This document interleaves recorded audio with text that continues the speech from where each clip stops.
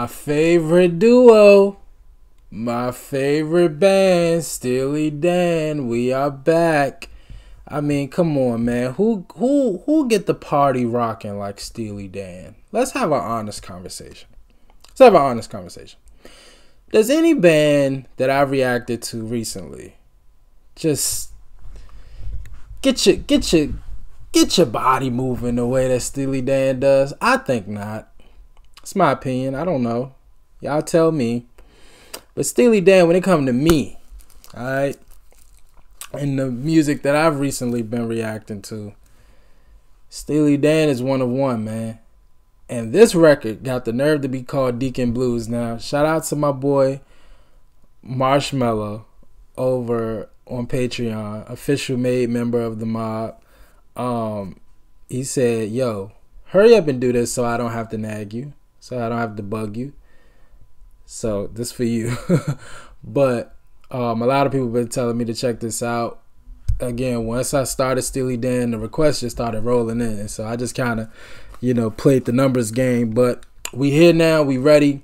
Y'all know how this go. We do the song research afterwards, but we just gonna vibe to Steely Dan. It's really no no. We we just gonna shut up and listen. Let's go.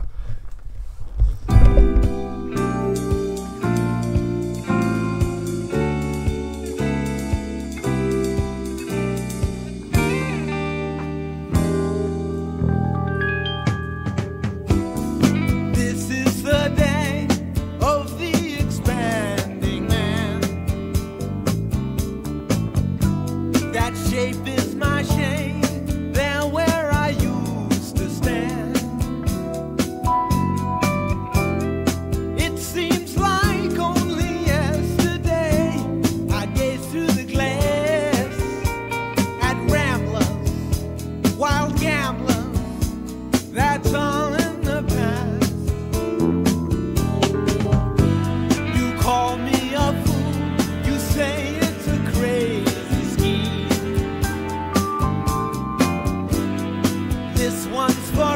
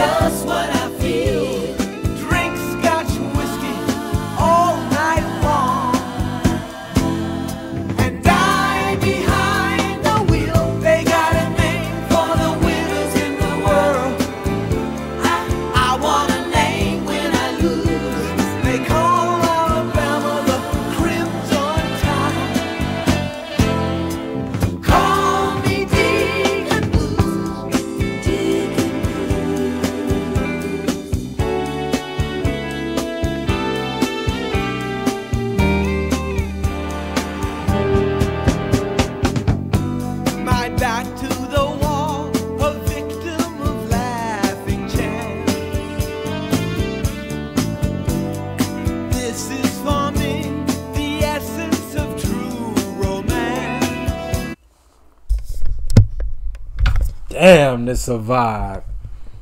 Oh, this a vibe. Now this ain't rhythm and blues. This is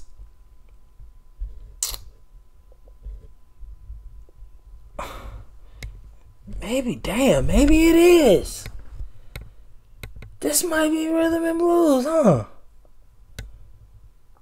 But I tell you what, the instrumentation in this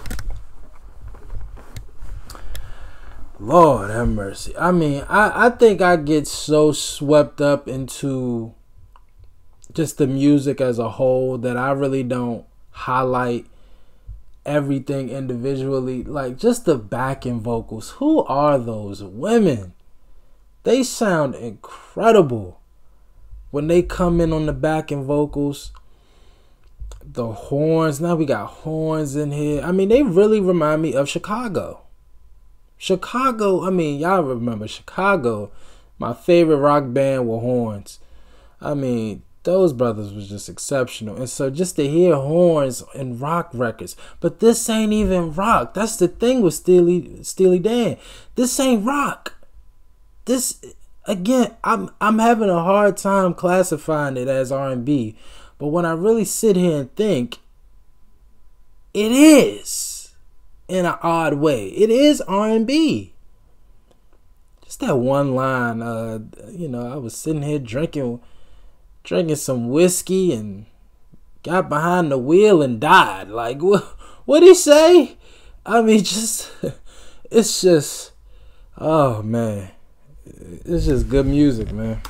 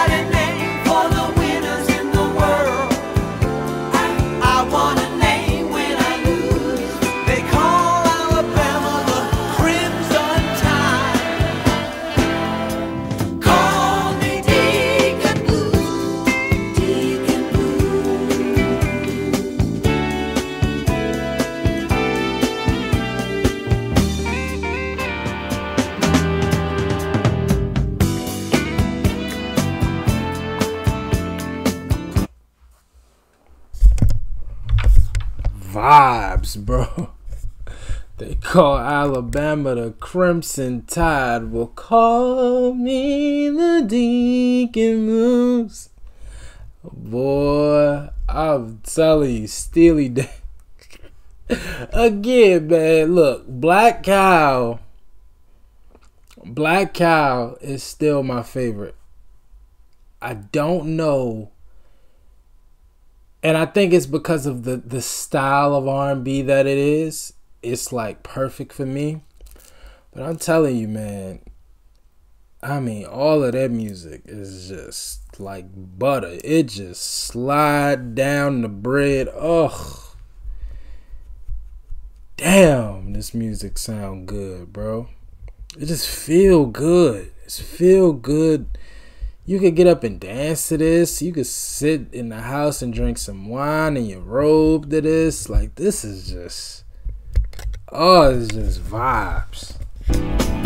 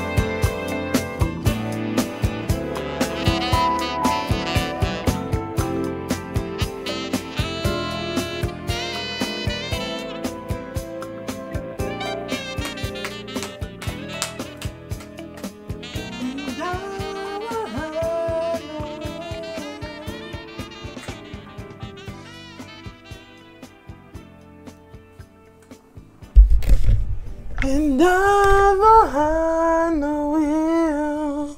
Oh man, Steely Dan. I'm telling you, man.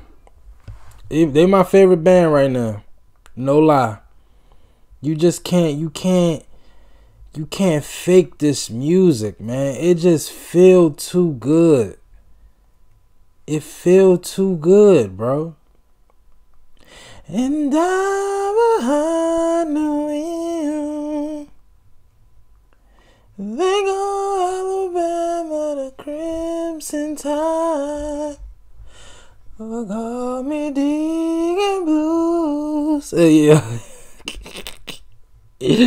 yeah, this music. Oh man, then it got the nerve to be catchy, like their lyrics and the quotes from these records be so catchy.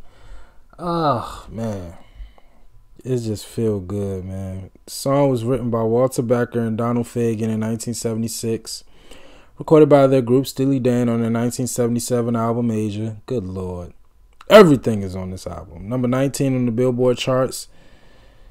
Uh, it also reached number 40 on the Easy Listening chart. Peaked at number 14 in Canada. Stayed at that position for two weeks. Wow. In 2021, Rolling Stone ranked it number 214 on the 500 greatest songs of all times list. Damn. It's a fire ass record, bro. I'm telling you.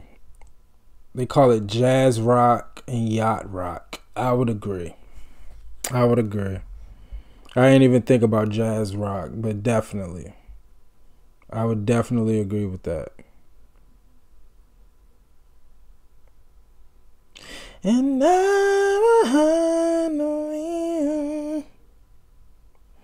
Song was largely written at Fagen's house in Malibu and was prompted by his observation that if a college football team like the University of Alabama could have a grandiose name like Crimson Tide, the nerds and losers should be entitled to a grandiose name as well. That's funny.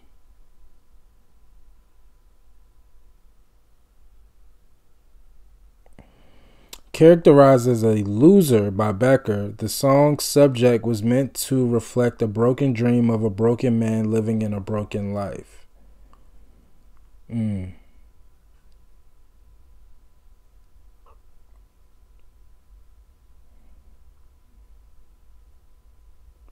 I could see that.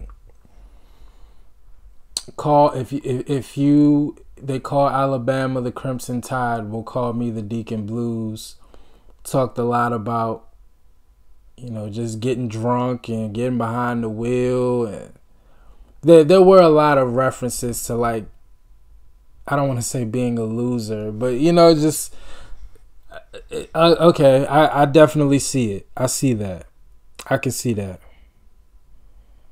I can see that. Who was on the back? Venetta Fields, Clyde King, Sherlie Matthews. Those are the backing vocals. Those are the beautiful goddesses. Oh wow, she's from Australia. So Venetta's from Australia.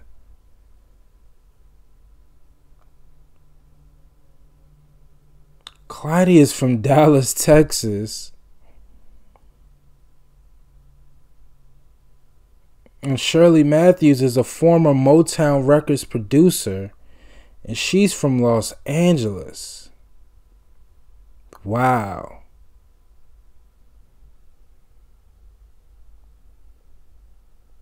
That's incredible.